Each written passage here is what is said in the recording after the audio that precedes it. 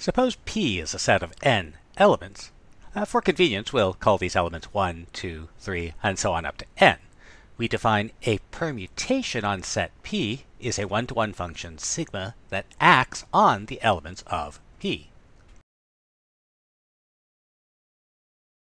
For example, suppose our set is 1, 2. Let's find all possible permutations on P. So our permutation will be determined by its effects on the elements 1 and 2. So one possible permutation is sigma, and we'll decide what sigma does to 1 and sigma does to 2. And so maybe sigma sends 1 to 2, and because it has to be a one-to-one -one function, this means that sigma 2 has to be equal to 1. Now if I want another permutation, let's call it rho. Again, rho will do something to 1 and do something to 2. And if I want it to be different, I'll let rho send 1 to 1. And that means rho sends 2 to 2. Could there be more?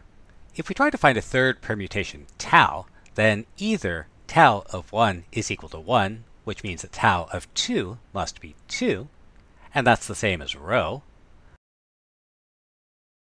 Meanwhile, if tau of 1 is equal to 2, then tau of 2 has to be equal to 1, which is the same as sigma. And remember, things that do the same thing are the same thing, so any other permutation tau is either rho or sigma. Now, given a permutation sigma, we can express it compactly using what's known as Cauchy two-line notation. Rather surprisingly, this is called Cauchy two-line notation because it first appeared in an article by Augustin-Louis Cauchy in 1815. Cauchy two-line notation consists of the following. The first line consists of a listing of all elements of our set P, and the second line consists of the images of the elements under our permutation sigma, and the whole thing is enclosed inside a set of parentheses. Here's how Cauchy wrote it. Notice that he doesn't list the elements in order, they're just any convenient listing. What's important to realize here is that even though this looks like a matrix, there are only so many symbols, and it's important to understand from context that this is actually a permutation. So let's take our two permutations on the set of two elements, and we'll express them in Cauchy two-line notation. So our first permutation sigma 1 is 2 and sigma 2 is 1. And so we can express this permutation by listing the elements 1 and 2 in our first rho and their images 2 and 1 in the second row. For the second permutation row, again we'll list our elements 1 and 2 and their images in the second row, and so we write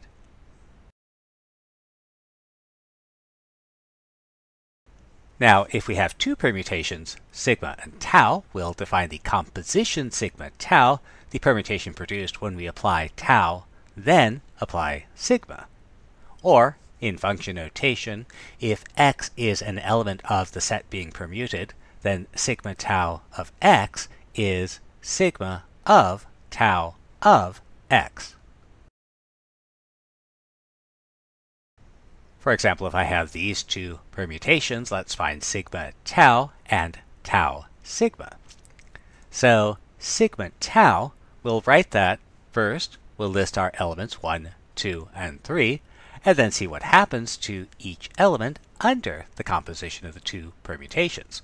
So we want to find sigma of tau of 1, sigma of tau of 2, and sigma of tau of 3. Tau of 1 is equal to 3. Tau of 2 is equal to 1. And tau of 3 is equal to 2. And so we find these values sigma 3, sigma 1, and sigma 2 to be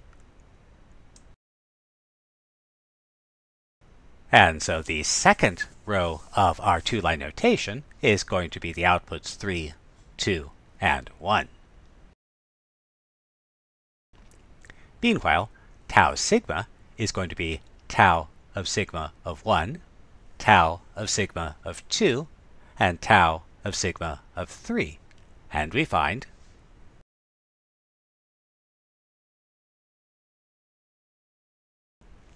and that gives us tau sigma. And it's worth noting that these are different permutations. Sigma tau is not the same thing as tau sigma, and that's a consequence of the fact that in general the composition of functions is not commutative. And this allows us to define a group. Let P be a set of n elements, and let capital pi be the set of permutations on the n elements. Then pi composition forms a group where our binary operation is function composition. Note that this is a theorem, so you should prove it, and you should do your own homework. We call this the symmetric group on n elements and write it as Sn. We'll take a closer look at the symmetric group next.